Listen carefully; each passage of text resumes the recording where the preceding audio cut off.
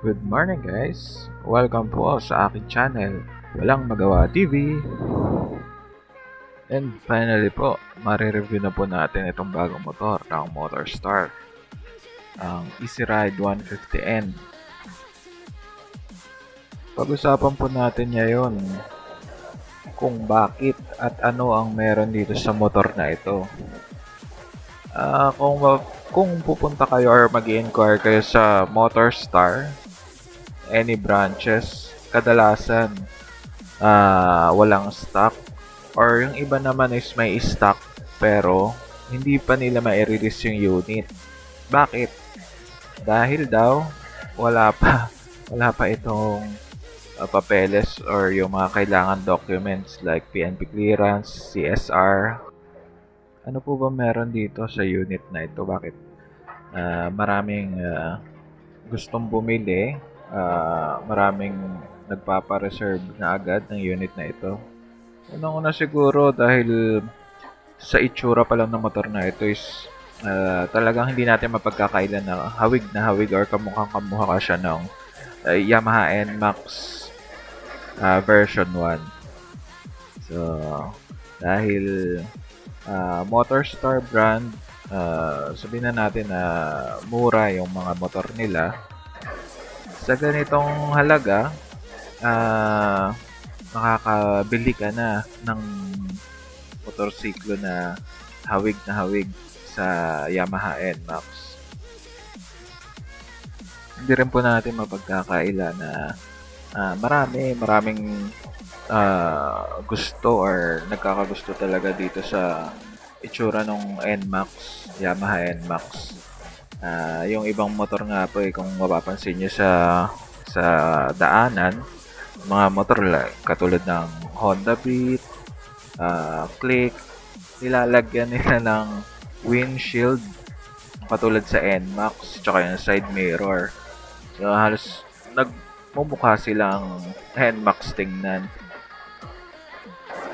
So, dahil po kay Motorstar, ah naglabas sila ng ganitong unit na kaparehong kapareho na itsura sa NMAX. So, ah hindi eh, sa mga low budget o yung talagang walang budget para makaku- maka-acquire ng Yamaha NMAX.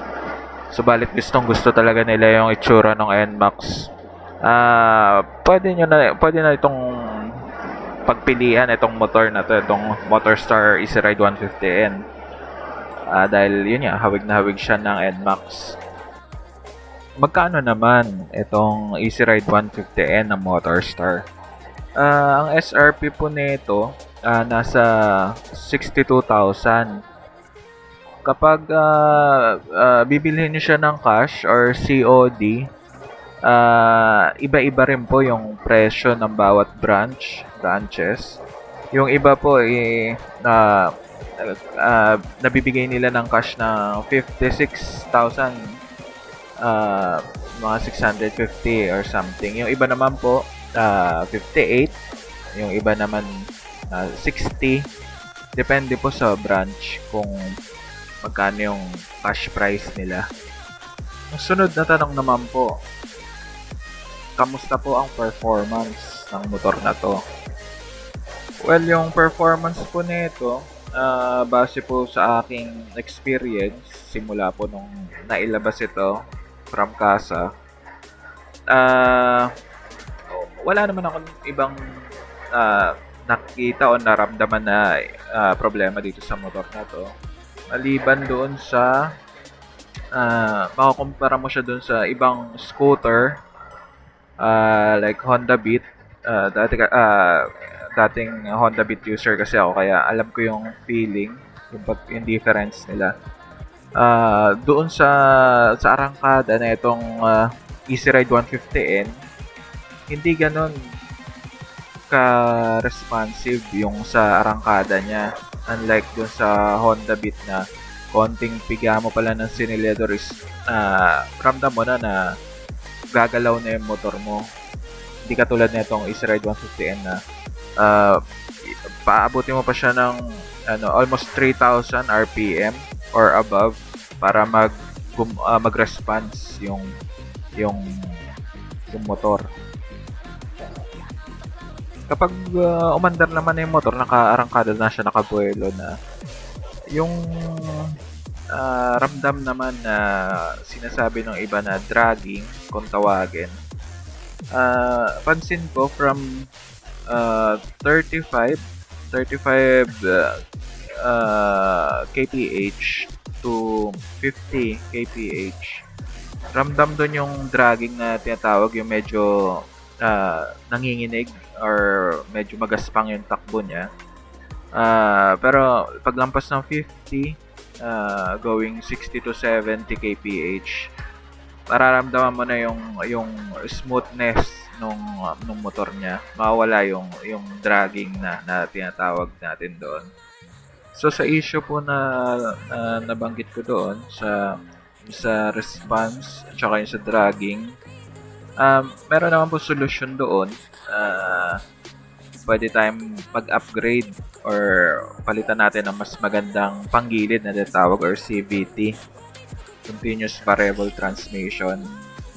Uh, kadalasan, uh, mad- mabibili mo yung mga parts or aftermarket parts. Kadalasan naman, kahit saang motor shop or maraming, maraming ka mabibilhan na parts na ito. Lalo-lalo na yung makina ng ating Easyride 150N, uh, GY6 engine. So maraming marami tayong makukuhanan na parts.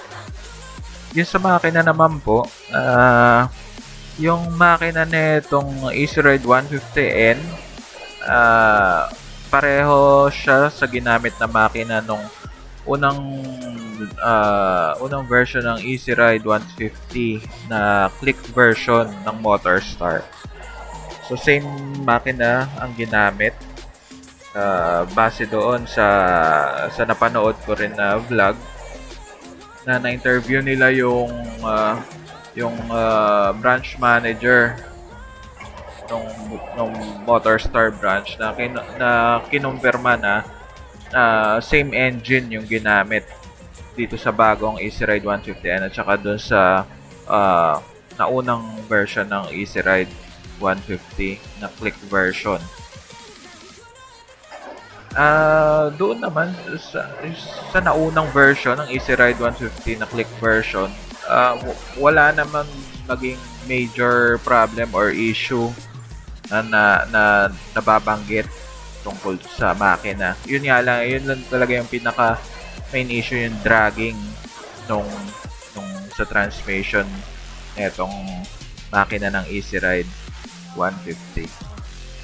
So, doon sa takbo niya, uh, uh, yun nga, eh, nabanggit ko from from 35 to 50 kph uh, medyo dragging siya hindi siya ganun kay smooth pero above um, 50 to 70 smooth na yung takbo ng motor.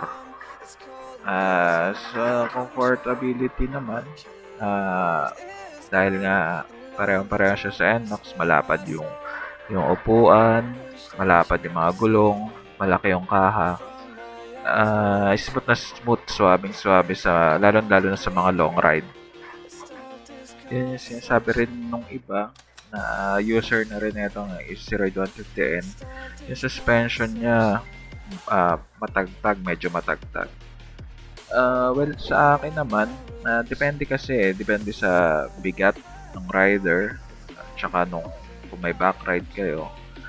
Kung medyo mabigat, mabigat yung rider, tsaka yung back ride, yung, yung suspension na itong Easy Ride 150N, uh, tamang-tama lang para dun sa mabibigat na sakay na itong motor dahil uh, saktong-sakto dun sa timpla ng shock niya. Pero dun, siguro nagkaka-issue dun sa magagaan or mapapayat lang na rider talagang ramdam mo yung yung tagtag na itong suspension ng Easy Ride 150N. Features naman po na itong motor na to lah, uh, sa mga lights niya from headlight hanggang sa tail light uh, signal light tsaka sa panel LED lights na po yung ginamit lahat Ah, yun ang medyo kinaganda niya. And then, dito sa speedometer natin, mapapansin nyo naman po, ah, di hamak or talagang masasabi natin na maganda yung display ng yun, yung ah, panel natin. Meron din siyang tachometer. Meron din siyang ah, clock. Time clock. Tsaka trip trip ah, reading and odometer reading. Meron din po siyang isang charging USB port para sa mga gadget. Gas consumption naman po ang pag-usapan natin.